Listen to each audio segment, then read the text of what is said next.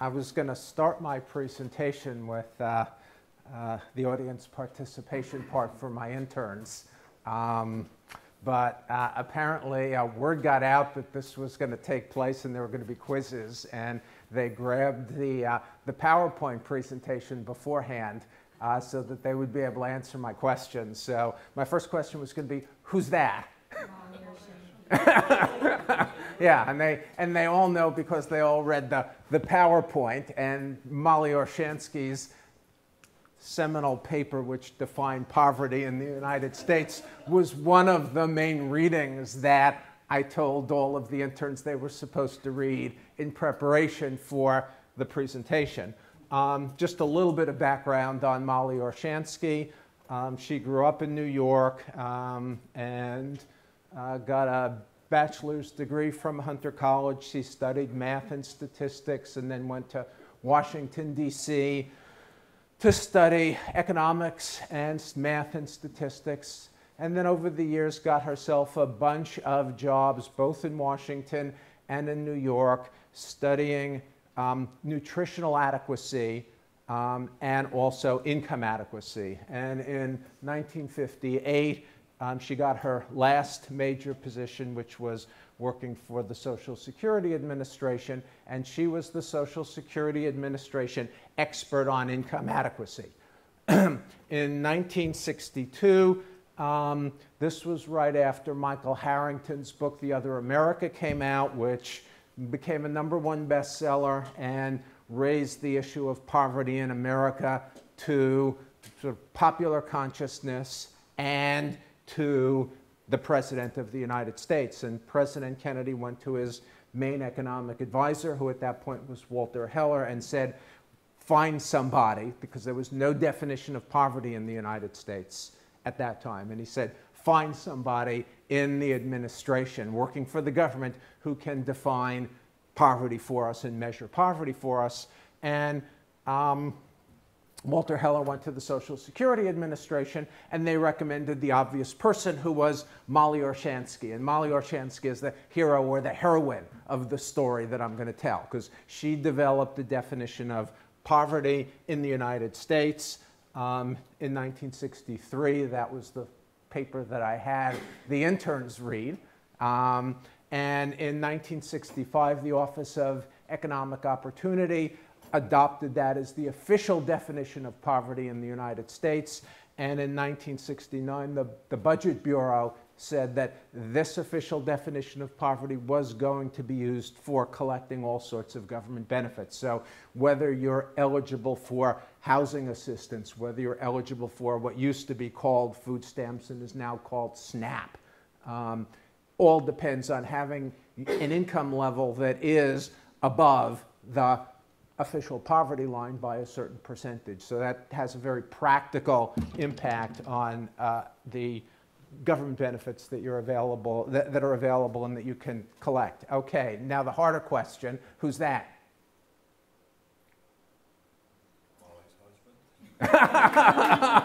Good guess, but no. Ah, good guess too, but no.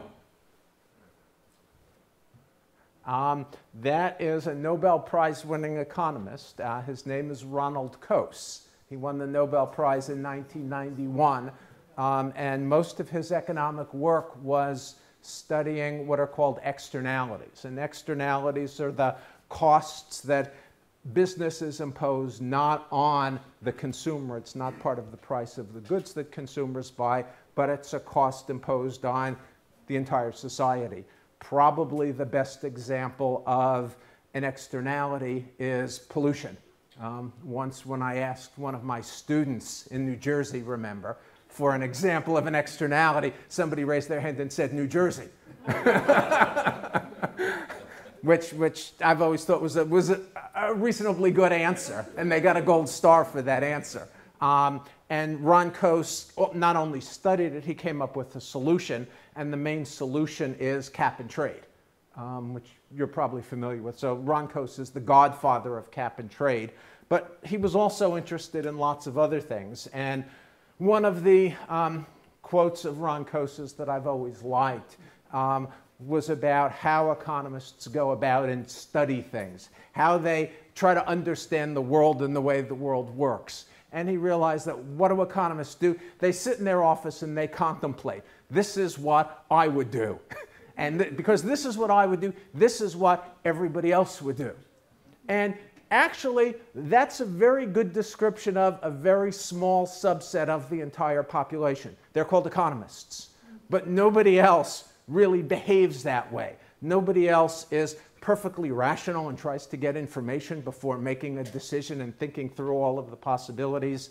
Um, people behave in very different ways. Um, and um, Coase's example was, uh, was relative to uh, a horse, and how would we study a horse? And we'd sit in our office and we'd figure out what a horse would do. And this view of economics and how to do economics goes way back in history to the mid 19th century. Uh, John Stuart Mill, a famous economist and philosopher, wrote a little paper called On the Definition of Political Economy, which is what economics used to be called. And he said that the problem with economics was we can't do controlled experiments. And so we have to figure out another way to try to understand the way the world works. And what economists do, said Mill, is we just, like geometry, we sit in our offices, we make definitions, and we deduce things from those definitions. And pardon the pun, uh, Mill has saddled us with the procedure for economics that gives us the Coase quote about what do we do when we want to try to understand the nature of a horse. And my instinct has always been that economists should say nay to this view of what economics is all about. And we need another approach. And this is where Molly Orshansky comes in. Because Molly Orshansky, as I said, was the, the hero of this. Uh, but before I get to Molly Orshansky, just a, a, a few other attempts to go about defining the middle class, and I have to shamefully admit that I'm one of the perpetrators of people that have sat around and just contemplated what should we say the middle class is without actually going out and doing anything. Um, but one approach, my approach is take the median income in the country and just pick a range around that, and that counts as, as middle class. Um, and part of the problem with that is everybody has different views. You all economists sitting in their office are not going to come up with the same exact numbers and the same exact ranges, and there's no way to go about deciding which one is better than the other one.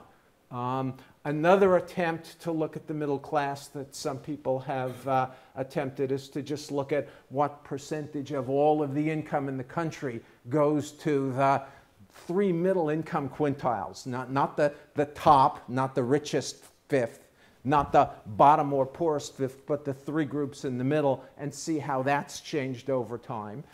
And that's somewhat useful information, but it doesn't tell us important questions like what's happening to the size of the middle class in the United States. Because if we're looking at the three middle 20 percent, adding up to 60%. It's always going to be 60%. No matter how much income they get or how little income they get, it's always going to be 60% of the population.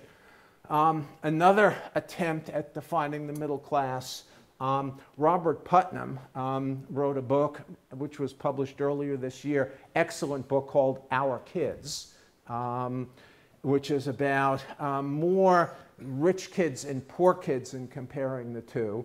But he also has in the book a definition of middle class that's implicit. Rich families or, or, or top families were families where somebody at least had a college education. Poor families were families where nobody had any education beyond high school. And then Putnam said middle income families were families where at least somebody went beyond high school uh, but didn't get themselves a college degree. Um, Intuitively, I don't like that definition. Um, and for me, it has a problem because I, I, I think about people like Bill Gates, who went to Harvard but never got a degree. And actually, Bill Gates is married to, it's Melinda, right? Yes. Yeah, Melinda has an MBA from Duke. So they would, they would count as being in the top group. But suppose they got divorced. Now you've got Bill Gates even if he gets half of all of the assets of the family, is still going to be one of the richest people in the entire world. And Robert Putnam is going to say, because he didn't get a, co- a college degree from Harvard, he's middle class. Something's wrong with that.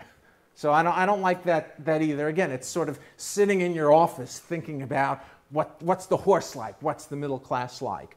Um, Thomas Piketty, in his book Capital in the 20th, 21st Century, um, sort of hit Amazon uh, number one last summer. Um, everybody was writing and talking about it. He has in his book a definition of the middle class which looks at wealth rather than income. And, and thinking about wealth, I think, is good because to be middle class, you need some wealth, um, put your kids through college, and retire. But to define it solely in terms of wealth seems to be a mistake because people can have really clear middle class incomes, $100,000 or so, and they may be in debt because they went to college. Are they middle class? Or they may have millions of dollars in a trust for them that gives them the $100,000 every year. Are they really middle class? In that case, I don't think so. So um, I'm not sure I like that. The last way that some people have thought about trying to define the middle class is to just ask people, what do you think? What counts as being middle class? Are you middle class? Um, and part of the problem with that is if you ask people, are you middle class and what's your income? The answer is everybody thinks they're middle class no matter how much they make or how little they make. Um, the Pew Research Center, which has done this study, found that um, I think it was 6% of people thought they were lower class and 2% of people thought they were upper class, and that was it. And even some of the people that were technically poor, according to the Molly Orshansky definition of poverty, they actually thought that they were middle class. So that's not going to work either. Um, so we need something that is sort of grounded in reality rather than a bunch of economists or social scientists sitting in their office saying what would work, what wouldn't work. The good news is we actually have a really good example of this we have an example of a pragmatic, grounded in reality approach to defining a group of people. And this is Molly Orshansky's definition of poverty that she came up with in the 1960s after she was given the assignment by the administration. And remember, she was the Washington expert on income and income adequacy. And so she used her expertise, and the first thing that she did was she recognized the importance of family size. Families of different sizes, of course, have different income needs, and we had a control for families of different sizes. The good news is she had data and she knew where the data was, having worked on all of this data for decades as part of the administration.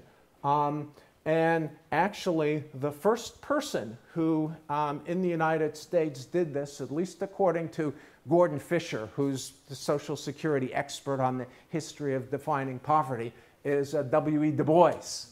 Okay, question Who knows who W.E. Du Bois is? big, big name in Great Barrington. uh, yeah, his, actually, his original home where he grew up, the home isn't there, but the site is still there with plaques that are um, uh, informational and describe his life. Um, anybody know anything else about him? Um, a very important advocate for um, black people to um, really push for um, economic opportunities and educational opportunities um, especially popular during the Reconstruction at, at the very turn of the century. Good. Anybody else? He was the founder of the NAACP. Yeah, good. And he ended up in Africa and espoused communism, which yeah. sort of got in the way of him yeah. being lauded, yeah. receiving the praise in this country that he should have had. Yeah, good. But you know, the, the thing that he's most, one of the things that he's most famous for and most noted for was um, a study that he did in the late 19th century. He went into the city of Philadelphia and he actually interviewed families. And he had families keep track of what they needed to spend money on. and what was sufficient for the family to survive for a year. And what he came up with at that time was the numbers are going to seem really low compared to now that a family of four needed $5 a week in order to be able to survive. But remember, that was, that was you know, we're talking the 19th century now. That came out to $260 for the entire year. Um, adding all of the inflation between then and now, I think that comes out to about $8,000. Um, if you look at the current poverty guidelines for the United States, that's for a family of four, significantly below the current poverty line in the United States for a family of four. But he was the first one who came up with the idea of what we need to do is just go out and look, see what needs people have. And so what Molly Orshansky did was she looked at the food budgets of families and how much food the family would need to survive for a period of a year. She actually did two food budgets, or for a shorter period of time, a couple of weeks, and then actually went out and costed out the food budget. How much would it cost to be able to buy the food? And food was obviously one important necessity for any family. And then she went to agriculture department surveys of how much money on average households spent on their food and she found out it averaged somewhere around a third of total family expenditures. And so what she did was for each family, and remember, larger families have greater food needs, it costs more. She multiplied the food expense for each family by three in order to get the poverty line for that family. So she actually went out and, and tried to estimate what is it that families actually need to be, right, not poor. What's the minimum that's necessary? Um, it's probably a little out of order. Those poverty thresholds increase every year with inflation so that it represents a constant standard of living for those families. The poverty lines are all now on the right for the United States for the contiguous 48 states in the District of Columbia. Um, Alaska and, ha- and Hawaii have slightly higher poverty rates if you've ever been to either Alaska or Hawaii and have noticed that things are a lot more expensive there, that's why. Um, and then the US poverty rate is officially defined as the number of poor households, households that fall below their poverty threshold, divided by the total number of households in the entire country. Um, there are a whole lot of problems with the Orshansky measure. Um, one is it only relies on money income, and so it excludes things like healthcare benefits that you may get from your employer. Um, not a problem when Orshansky was actually doing her study, but now it's certainly more, more salient and more important. It also ignores any taxes that you might pay on income. Um, Social security taxes, income taxes to state and local governments, and even city governments. Um, again, for low income households, probably not a big issue back when she was doing the studies in the early 60s, more important now. Um, all sorts of government benefits, those pretty much didn't exist in the early 60s when she was doing her studies. Now they're income and they can be used to support a family. Roz? How does, how do these measures account for variation in housing prices? Do they? Um, you're ahead of me. You're on point three. Oh, I'm sorry. Yeah, yeah, and the answer is they don't. And that's a problem, and that's a problem that still exists. Um, and then the, uh, the, the, so all of the government benefits are essentially just like income. And whether you get food stamps or the government gives you the money shouldn't make a difference in terms of your standard of living, but it only counts towards your income and whether you're poor um, when the government gives you money. if they just give you food stamps or just give you a housing voucher to reduce the cost of homes uh, or rents, then it doesn't count. And also, it says nothing about assets or debt. Um, uh, that's an issue that I've been writing about with my colleague Robert Scott, um, who is going to be here actually uh, starting tomorrow for a couple of days.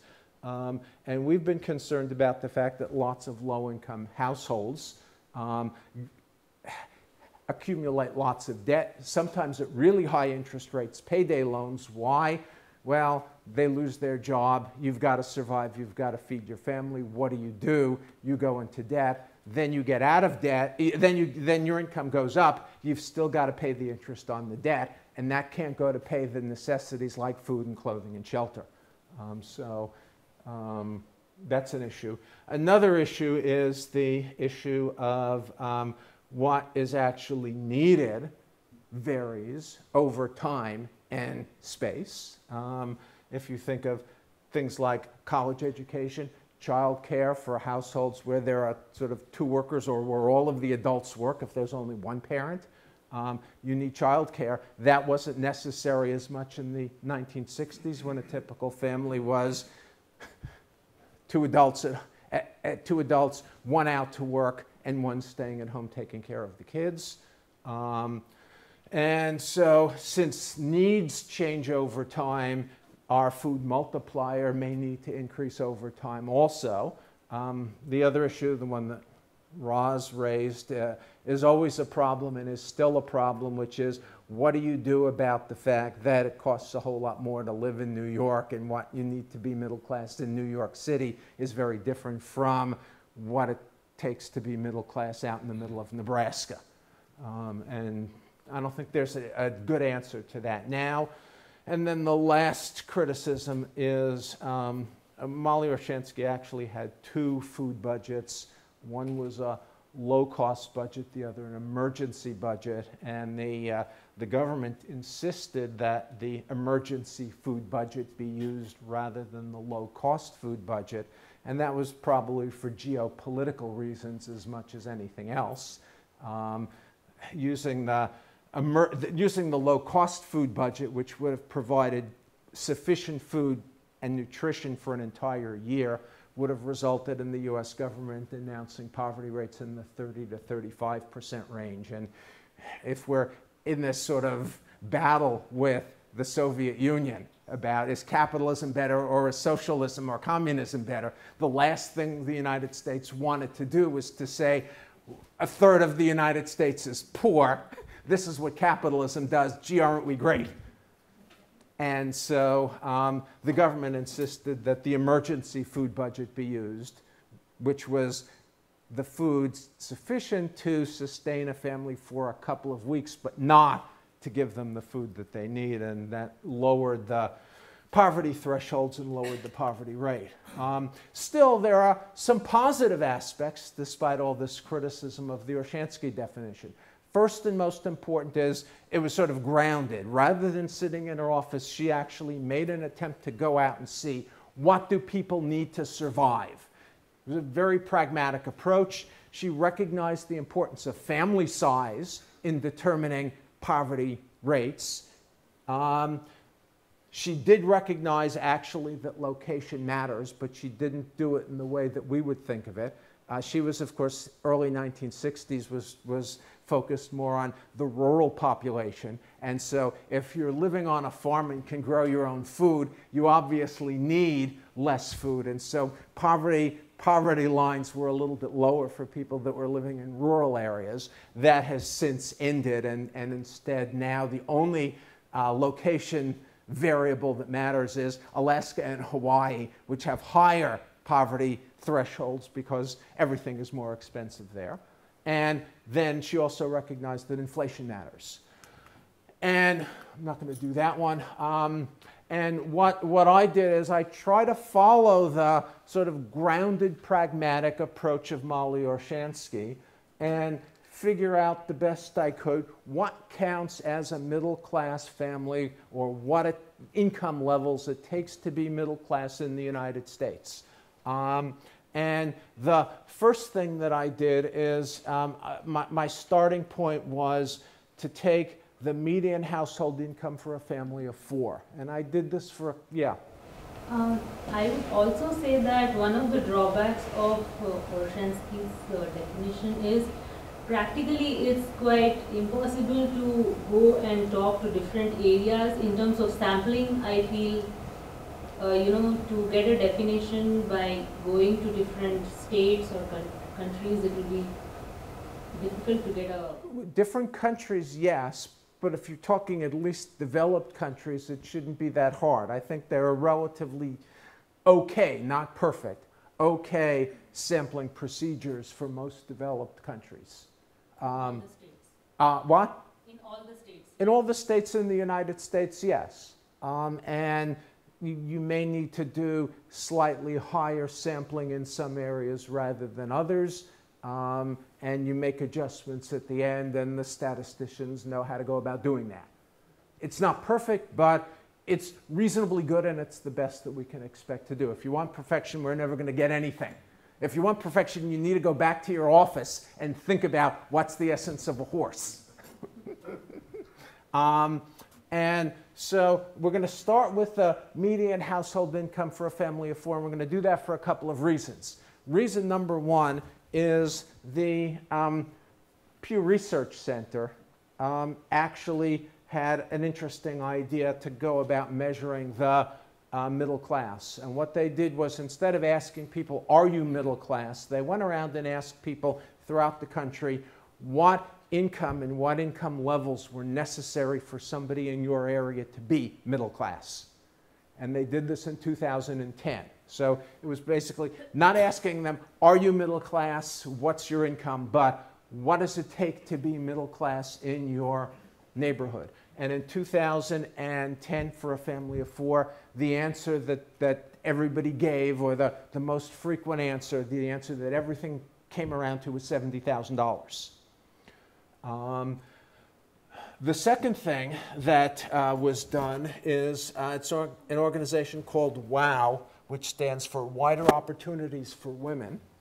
They actually went out and got people to keep track of what they were spending and keep track of what was necessary. And these were, again, families of four, households of four throughout the United States.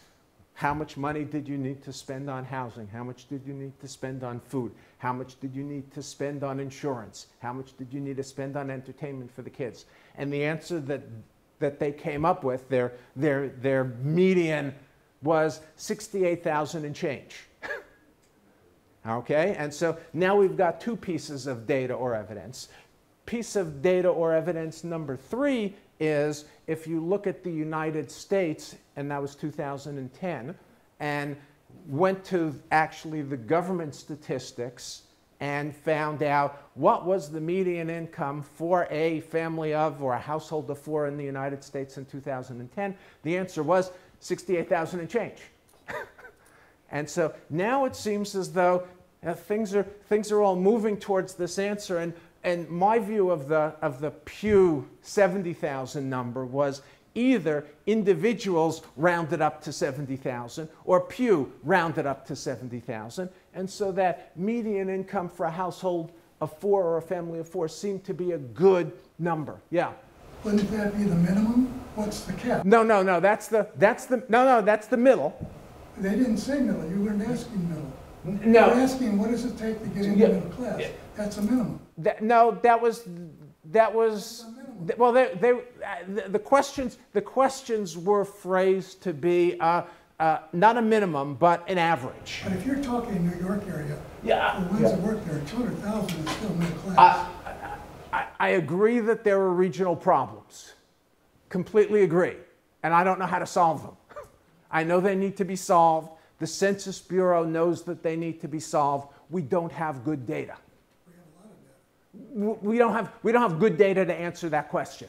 Okay? We have data. We have lots of data. Even the best household data that we've got right now, which is the Case Shiller Index, only looks at something like 24 cities in the United States. They don't even cover the regional areas. So, sort of dealing, dealing with that, that sort of regional variation problem is a problem as long as that problem somewhat remains the same.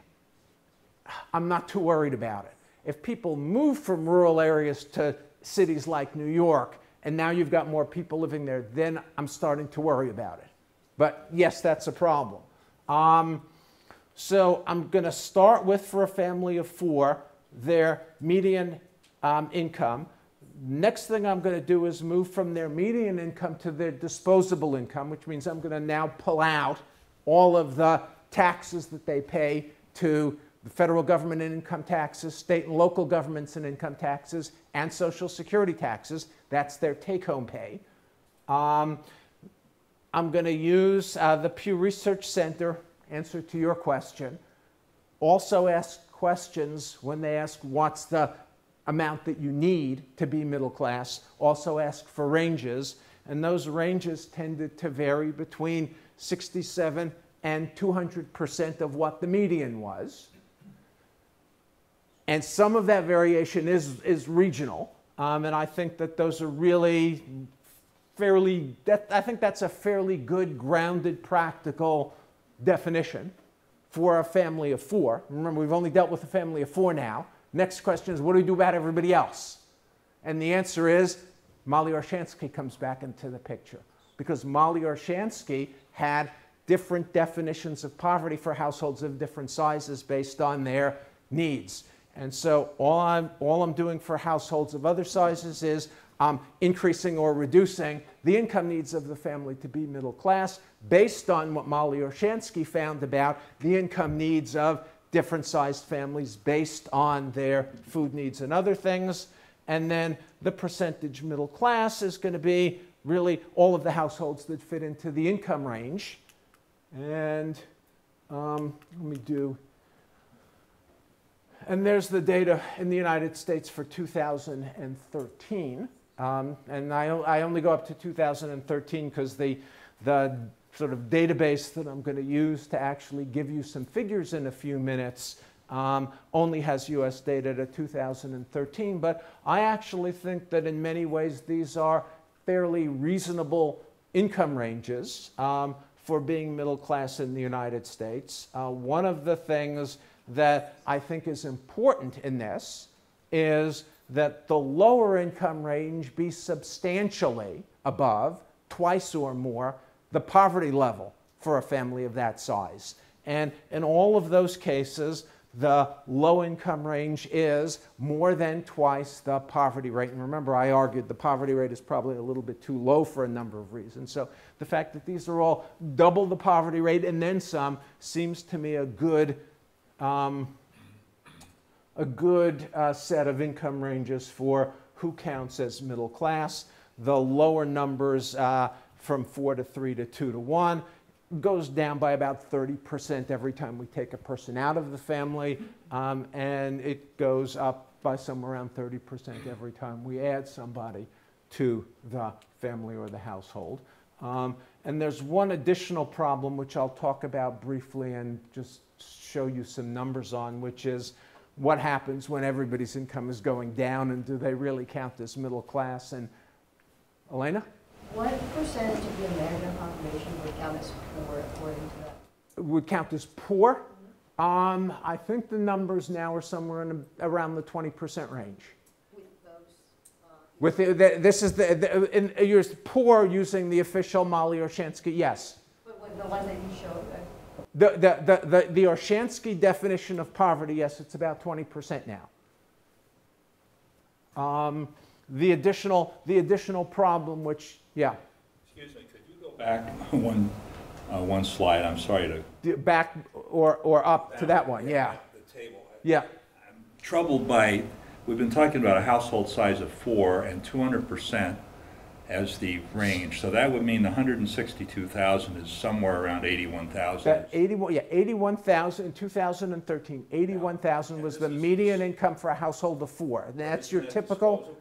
No, that's, that's actually your household income. It's not disposable income. Okay, 'cause It's your household income. household. And the reason, the reason that I like household income and like to talk about household income and use household income and like what the uh, Pew Research Center did is if you ask people what their disposable income is, who can tell me what their disposable income is for the year?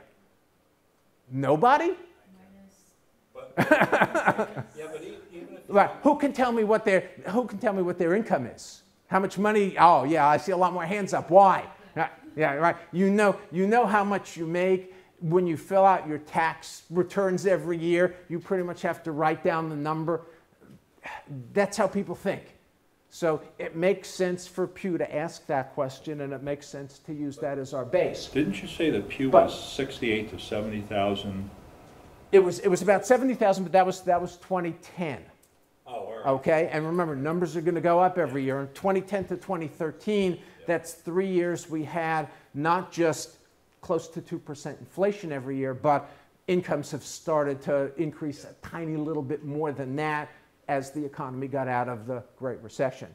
But the other thing, just to go back, the other problem that I've got is what happens if that whole middle income group suffers, say, a 10% loss of income during the year, right? Well, they're all still the same percent around the median. The median has just fallen. And if the median falls, they're still all middle class. But think of some of those people at the low end who were barely middle class before, and now their income has fallen 10%. Will they consider themselves middle class anymore? And I think the answer is no. But this is sort of my musing and my thinking about what's a horse. I don't have any evidence, but I can make an adjustment for that and that's what I'm going to do in a minute. And the, um, the figures I'm going to present to you in a minute come from an international database called the Luxembourg Income Study, which began in 1964.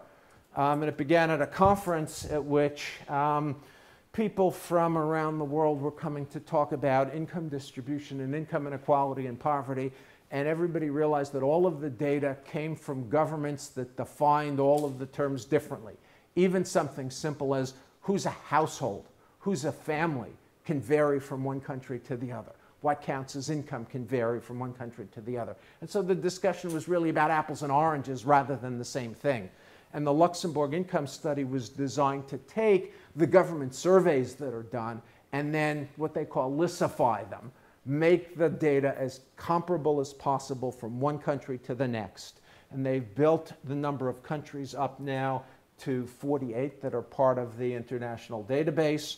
Um, all of the data uses comparable, definitions of income and all sorts of other socio-demographic variables, including education level. Different countries have different standards for education. They've got fairly standard education variables. Um, and all of their data comes out sort of every three to four years, centered around a specific year. Uh, the first data that came out was centered around 1980. Um, wave 8 centers around 2010. Um, wave 9, which is just starting to come out. The only data I think I'm going to show you is US data for 2013. Most of the other countries, that data is not out and available yet. But we're going to start with the United States. And this probably won't surprise a whole lot of people. Um, again, using the, uh, the five step procedure that I went through um, and looking at the United States, um, we're going to do just the, the blue line first before I get to the brown. The brown is my adjustment for the recessions. Um, if you just look at the, the blue line, it seems as though in the United States there's a fairly steady decline in the um, size of the middle class in the United States from somewhere in the upper 50s all the way down to the low 50s. Um, the only exception being a brief period of time in the late 1990s where things pretty much stabilized. That was sort of good economic conditions in the United States. Um, the um, other thing that um, I'm going to point out to you, that brown line, um, what I did was, for the brown line, if median incomes fell from one year to the, no to the next, I said, what if the median income kept up with inflation? It didn't decline due to the recession. What would the middle class look like? It's partly a way to gauge how is the middle class affected by the Great Recession and bad economic circumstances. So is that measuring it um, as a percentage of the number of? It's a percentage of the number of households, right. So in the United States, in the uh, late 1970s, early 1980s, and close to 40, uh, close to 60 percent of all households were middle class, in that middle class range, right, for their household size, 67% to 200%, which As I said, that seems to be a reasonable range for that household size. It gives the household a certain standard of living relative to everybody else in the country at that time. But that number has just gone down and down and down and down over time. Um, even not making an adjustment for the recession, we're at 51.1%, adjusting for the fact that the median income went down, and I don't want to let it go down. I want to push it back up. We're down to 50%. And just to give you an idea of why I really want to do that adjustment, um, if you look at like those, sort of those two points there in blue, that's 2007 and 2010.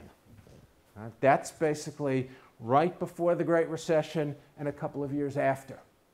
And to say the middle class was completely unaffected, those numbers are virtually the same. To say the middle class is completely unaffected by this horrible recession that impacted the US economy just seems wrong. And so by making that adjustment, what happens? Well, when we get to 2010, we see the middle class has shrunk a little. Uh, the economy did have an effect. Um, okay, so that's the United States. Um, how about some other countries? Um, and I've divided countries into sort of three groups. Group number one is the uh, Anglo-Saxon countries. I haven't done any adjustments here. Uh, just to clarify once more the previous slide. So the adjustment that you have done is Yeah. because the median has shifted. the median has fallen, right? I don't care about the median going up. If the median goes up, then everybody's income goes up, and it makes sense to say that to be middle class, you need a slightly higher income. Because what counts as being middle class is not just what my income is, but what's my income relative to everybody else or relative to the standards in the country at a particular time. That makes sense. But when things are going down, I think people have short memories and they go, my standard of living is falling, I'm no longer middle class, and that's why I'm just pushing the median up, and that's why I get slightly lower figures. Benchmark itself uh, changes. Yeah, I can, I, yeah, the, the, the benchmark changes, and if the benchmark goes down, I'm not going to let it go down. I'm going to, I'm going to stabilize it. Okay, Anglo-Saxon countries, which are somewhat interesting, um, UK and Canada. Notice UK um, is, in some senses, rather different from the United States. Really sharp decline in the 1980s, 90s, levels off, and then goes back up. And also notice those Anglo-Saxon countries, on average, have middle classes in the 55 to 60 percent range, although the US seems to have fallen out of that range as of late. Um, Canada actually is almost the reverse of the UK. Middle class rising and rising and rising. And then sometime in the late 1990s, when uh, things stabilize in the UK and then start to go up, it's falling. So different things are going on in different places um, among the Anglo-Saxon countries. Um, the Nordic countries, uh, Finland, Norway, and Sweden, are um, somewhat interesting as well. Um, notice Sweden is up and down and up and down and up and down. Uh, Norway is very stable and constant. And notice that for the Nordic countries, on average, the middle class is considerably larger than the middle class in the Anglo-Saxon countries. We're talking uh, sort of on average 65 to 70 percent. And Finland is a very interesting case. Uh, you can see the sharp drop in Finland. Um, and two things probably are, are at play here. One, in the early 1990s, Finland had a big housing bubble, which then burst and then the economy collapsed. So they were, they were considerably ahead of the United States in terms of housing bubbles and the consequences of that. And more recently, um, Finland decided that they were going to join the euro. Steve? Are you gonna get into what you think I'm going to, I'm going to, caused that lines to go, the US line to go down? well, I'm going to, I'm going to talk a little bit about it. Yeah, at the very end. Because, if you go back to it real quickly, Yeah. the thing that, I'm trying to, in my head, figure what, what the heck's going on here, but you made the point that if median incomes went up, Yeah. then it took more to be in that group, right? Um, So well, median, well, actually, no, no, no, actually, actually, median incomes went up in nominal terms, but since about um, 1990 or so, median incomes controlled for inflation in the United States didn't change at all. I'm looking back. Okay, thanks. Okay, that's not, you know, median incomes have gone up, but that's just because prices are going up. Right. Real median incomes controlling for inflation in the United States have not changed at all since somewhere around 1990. And so that decline is all about the fact that, right, median incomes are pretty much staying the same, but people's incomes are not any are not around that median anymore. And that's really what people mean by middle class. They're not around that median anymore. And if you want to think about uh, Thomas Piketty's book and what's happened to those incomes, what Thomas Piketty has shown is the incomes are increasingly going to the top 1% or top tenth of 1%.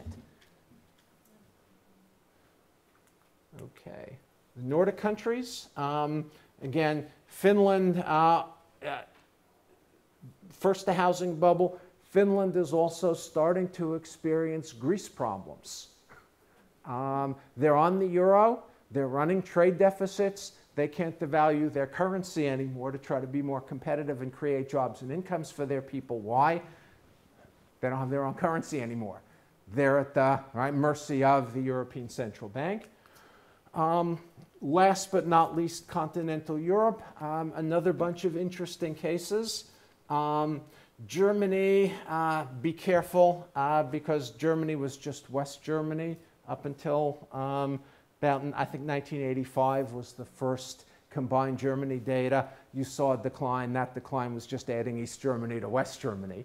Uh, after that, constant for a while, and then early 2000s dropped. Um, Italy, up and down a little at the beginning, but since the mid 1990s has been relatively constant. And France, the most interesting case of all, middle class isn't dropping at all. It's been steady or it's been going up. Okay, what conclusions do we do we draw um, from this, and what comes next? Um, one, as Roz pointed out earlier, um, regional differences in costs still remain a problem. Nobody has really figured out how to deal with regional cost differences well. We don't have good data for the entire country. We have good data for a couple of cities. We may have good data for cities versus rural areas, but one of the things that I've learned here in Great Barrington, even if you're in a somewhat rural area, housing costs can be really expensive. And that's, that's, in a nutshell, the problem of how do we deal with regional cost of living differences. What do you do with a place like Great Barrington, where you obviously need more money, right, to be middle class because housing costs are higher, on the one hand. But on the other hand, if you try to make adjustments based on population, whether it's rural or urban, it's going to seem as though everybody's really rich here because this is a rural area where, in fact, housing costs are really high relative to the fact that this is a rural area. And housing is just so specific, nobody's really been able to figure out a good regional cost of living measure that can apply to the entire country. I can do New York, I can do all the cities, I can even pick an area that I'm interested in and get a regional cost of living right number for that area but now i want to do the whole country and i also want to do the united states over a long period of time and i may not have that data from 20 years ago and i also want to compare the us and canada and italy and germany and on and on and on and on. And that data just doesn't exist. That's, that's a, a sort of problem. The other thing that we need to do is we need to start to begin to test theories about what it is that causes the middle class to grow and what it is that causes the middle class to shrink. There's good news and there's bad news. The bad news is that economists have two main explanations for income inequality and what's caused the middle class to grow and shrink, or mainly what's caused it to shrink over the past couple of decades. And their two answers are globalization and techn- technological change. Globalization means now we're part of a global economy, And so American workers have to compete against workers in other countries, and their wages have to go down.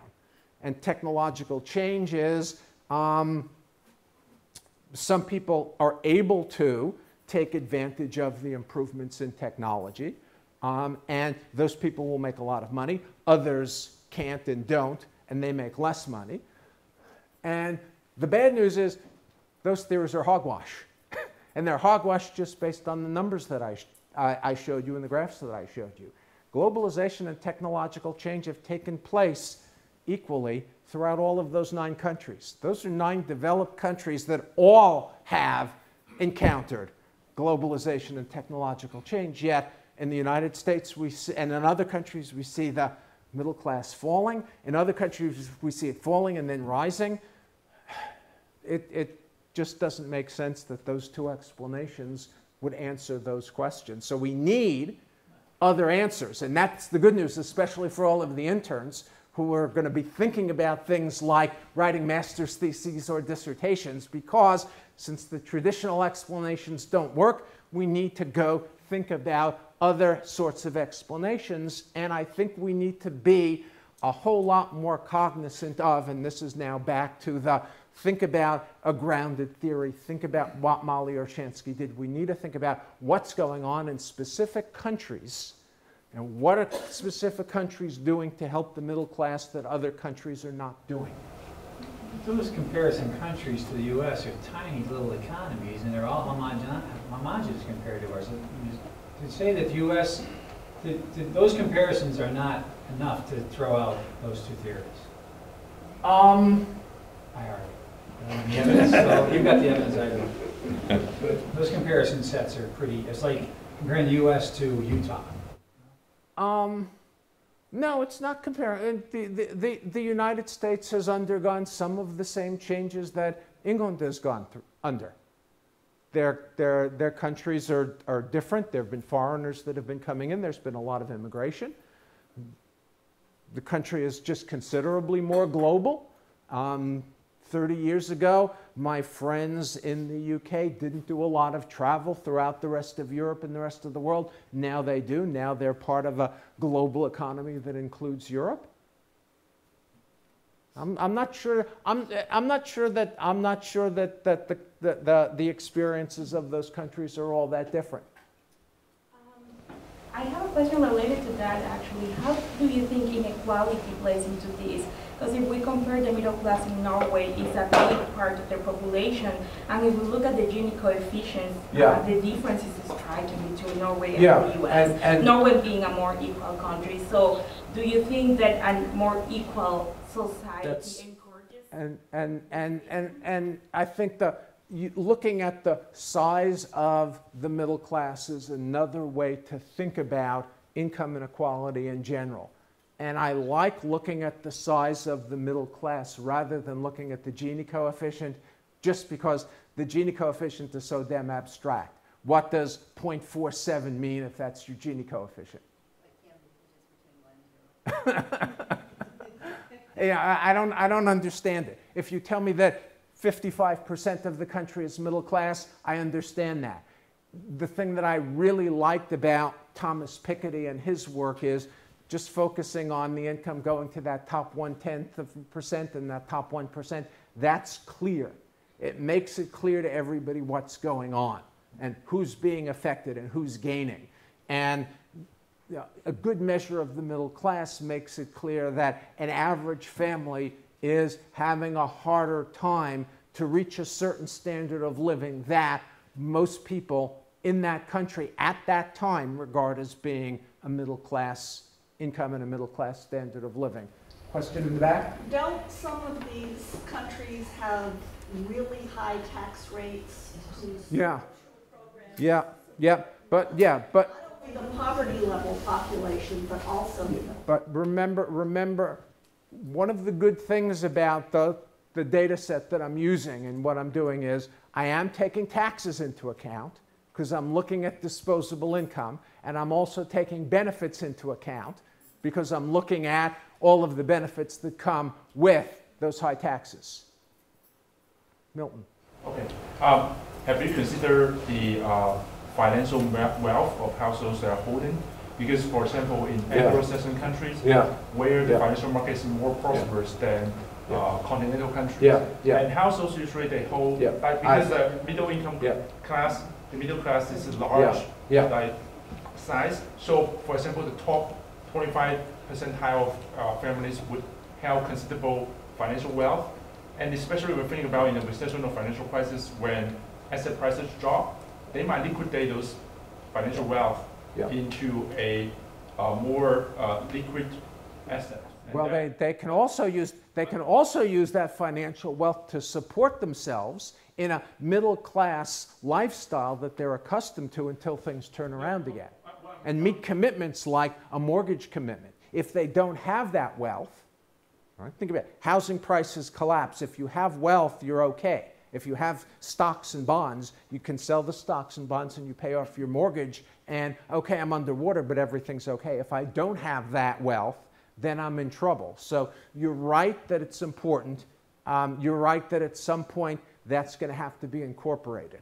What I'm saying is that the asset prices drop. Yeah. And their wealth considerably lower. Right. But that doesn't mean, like, uh, what I'm saying is that their wealth is volatile, much more than Yeah. other countries if they don't have like a Yeah. lot of uh, Yeah. financial assets. So when you measure that, so that's, I think it's a, that's a big error. When you, when you measuring, um, the incomes in, in the United States, because a lot of households actually have a lot of financial wealth. Well, most, most middle income households in the United States have their wealth in just one place. That's their housing. Yeah. And so they were hurt a lot as a result of the collapse of housing prices. And I'd like to, at some point, figure out how to incorporate that into this estimate, um, just as I've worked hard to try to incorporate debt and wealth into definitions of poverty in the United States. Well, well, I have a question because you, you compare lots of developed countries with United States, but actually uh, their their econ their uh, economy structure is totally different from the United States. Like lots of countries in Europe, they have a big social welfare system. Yeah. So when you take that into consideration, so that will really lower the boundary of the middle class. So probably that will make more people was considered to be qualified as middle class when compared to the United States. Yeah. Do you think that's the Well, I'm, I'm, yeah, I'm, well, I think in some cases that's correct. Um, and my favorite examples are things that I've written a lot about and, and am committed to. Um, the United States is the only country in the entire developed world that doesn't have a policy of paid parental leave. And what does that mean? That means that if a woman's going to have a child, unless she gets that benefit from her employer, she's going to have to take time off from work with no income.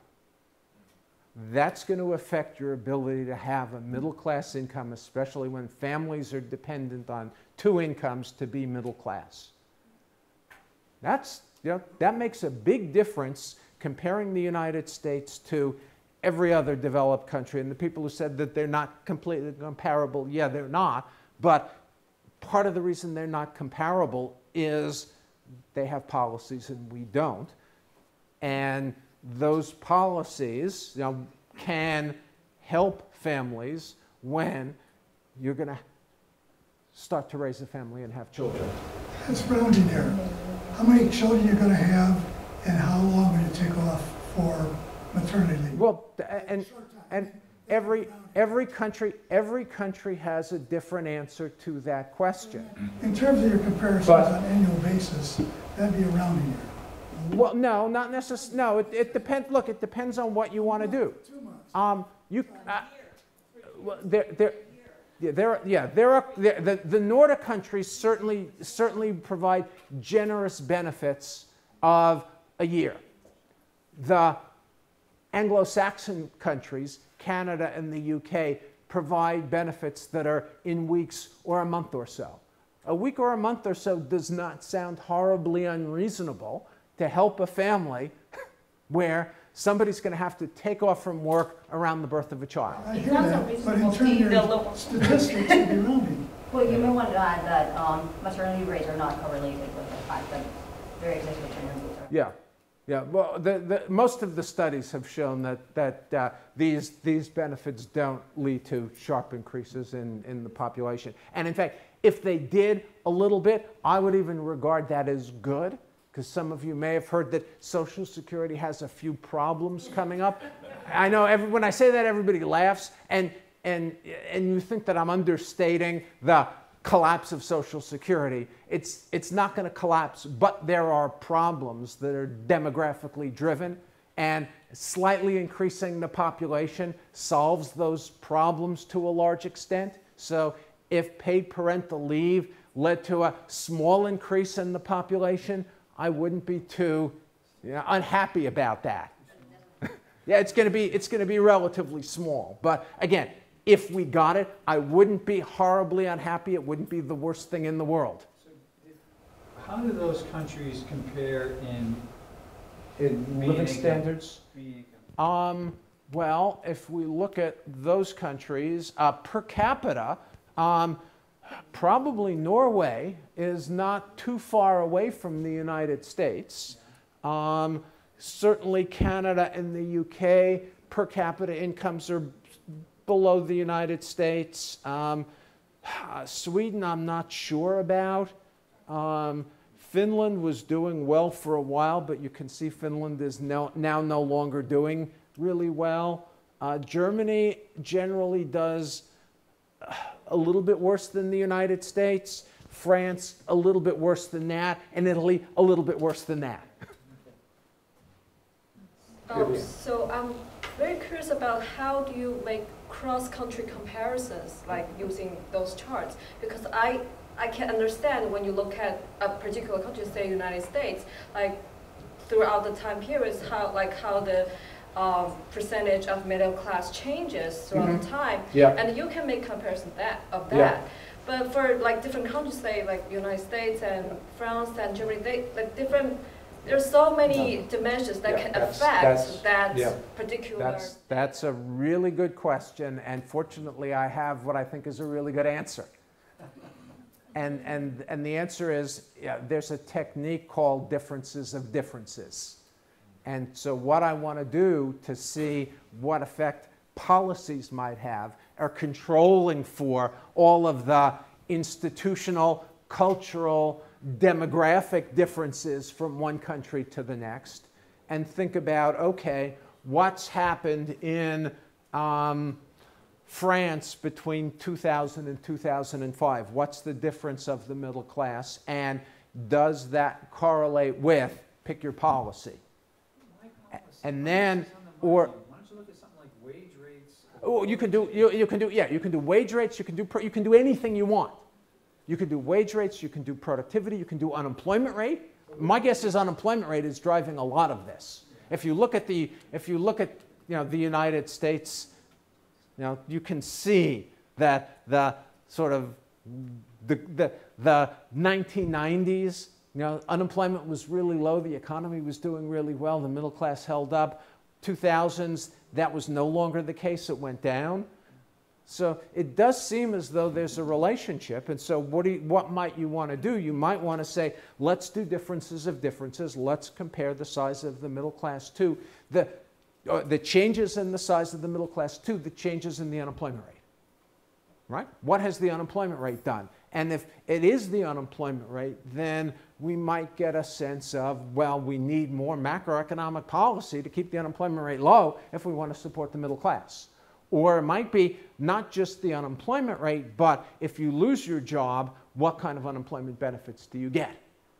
You know, what's the fraction replacement rate from the wages people were getting or the median wage? And, or how long on average can people collect?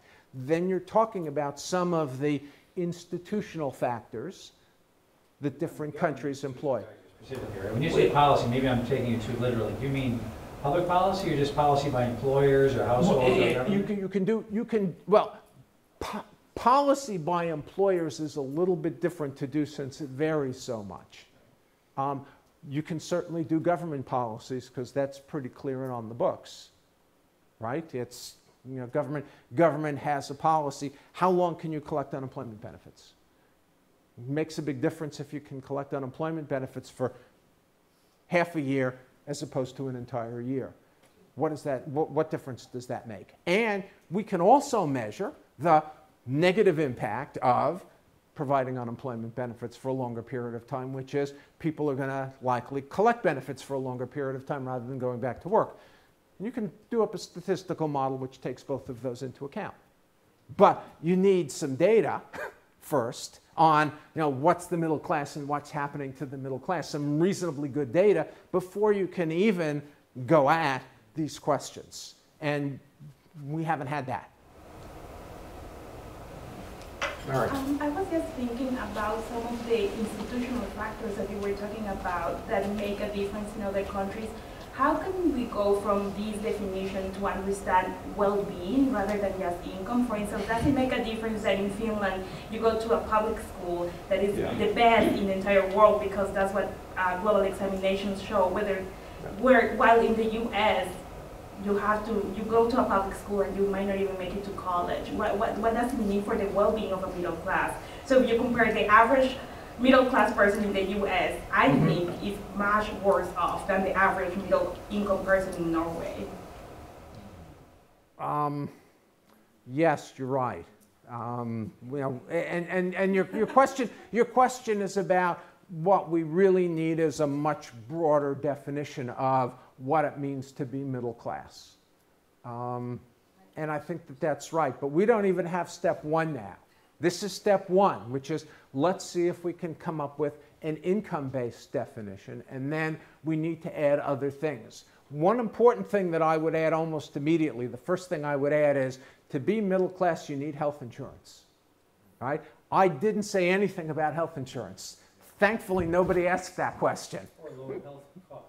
Right? Um, well, no, it's not just health. It's, it's you have health insurance for a reason. And the reason is if you get sick, the cost can be astronomical, right?